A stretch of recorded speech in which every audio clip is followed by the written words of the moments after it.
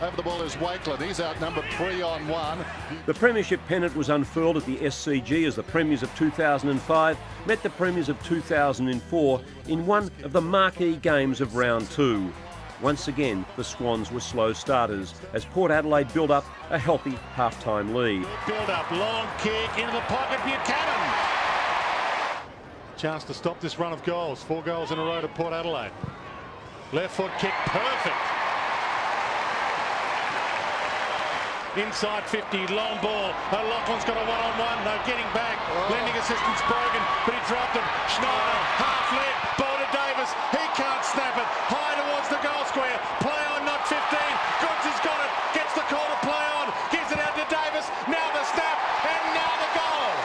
From the ball up, Jude Bolton rolls it inside 50. Little dish up good from Richards. Got it to Falstein. Runs to 40 through traffic nicely. The one-two with Jolly. That brought the crowd to life. Handball on to Davis. Just beyond his range, spears it home.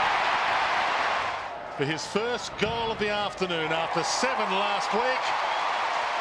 Finally. In the early stage of, of the journey for 2006 is we'll, you know, we'll, we'll go our own way and we maybe just test how good a players we can become individually. So that's probably been the early signs, you know, and it is only early, it's only two rounds in, but certainly at this stage you'd have to say that um, you know, the majority of the guys are now just testing whether they can be better individual players than, um, than, than team players.